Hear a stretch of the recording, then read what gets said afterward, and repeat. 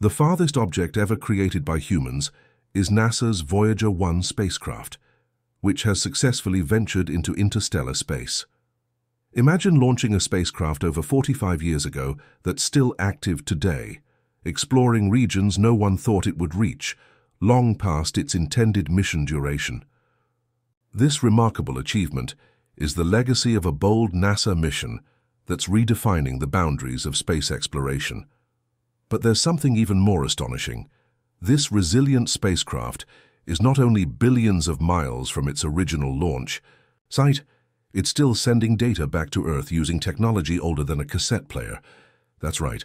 Despite being launched in 1977, Voyager 1 recently made a discovery that has stunned scientists and drawn global attention.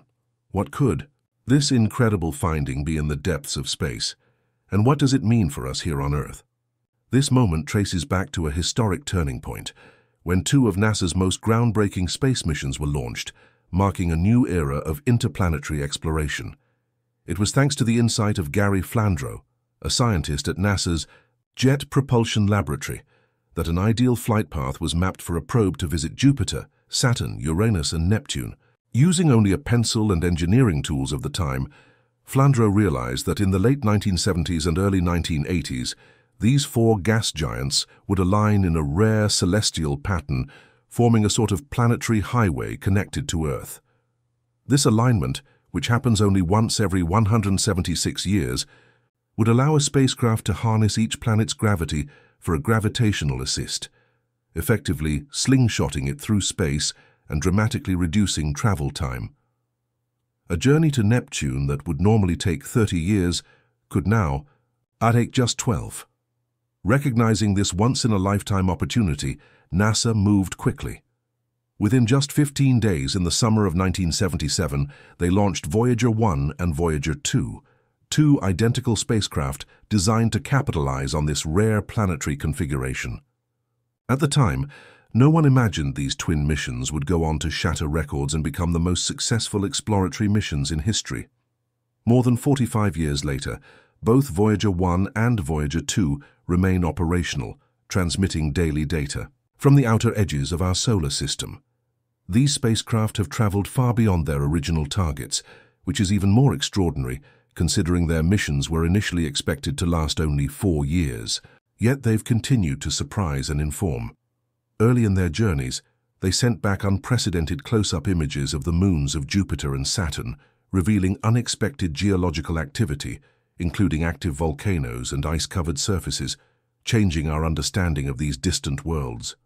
Voyager 2 became the first and only spacecraft to fly by Uranus in 1986 and Neptune in 1989, returning stunning data from regions never before explored, over 14 billion kilometers from Earth. These car-sized spacecraft have vastly exceeded expectations, pushing the frontiers of what's possible.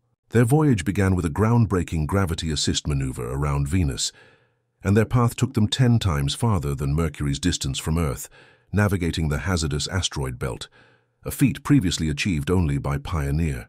10 and 11, yet the technological limitations were significant. Each Voyager carried just 69 kilobytes of memory, far less than a modern smartphone. Data was stored on tape recorders and transmitted using a 23-watt signal, roughly the power of a small light bulb. Each was equipped with a 12-foot wide antenna and relied on radio waves traveling at light speed to communicate with Earth. But as the distance grew by three or four light seconds daily, this became more challenging. Eventually, signals from Voyager 2 took more than 18 hours to reach Earth, Increasing interference from TVs, cell phones and other devices on Earth further complicated the reception of its faint signals. Despite these challenges, both voyages continue to provide unexpected discoveries from the interstellar void, reshaping our view of the universe. Beyond the known boundaries of the solar system lies the mysterious Oort cloud, a vast, spherical, collection of icy bodies held loosely by the sun's gravity, stretching nearly to the nearest star. Though the Voyagers are still on their way toward this distant frontier, their entry into interstellar space officially began when they crossed the heliopause, the boundary between the solar wind's influence and interstellar space. Originally, estimated to lie around 50 astronomical units from Earth, This transition didn't produce immediate environmental changes, puzzling scientists. They expected a sharp rise in cosmic rays, high-energy particles from supernovae and other celestial events, but most of these were blocked by the heliosphere, the Sun's protective magnetic shield. The Voyager team also anticipated a change in the direction of magnetic fields once the spacecraft exited the heliosphere. However, this shift didn't occur as expected.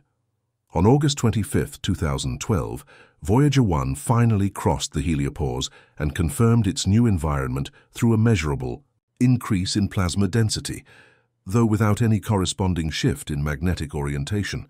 This was surprising, as a change was predicted when moving from a solar-dominated region into space influenced by other stars. The continued success of the Voyager mission is a testament to human ingenuity and scientific curiosity. These aging probes are still sending back valuable data, offering us a window into the deepest, darkest reaches of space and helping to answer questions we're only beginning to understand.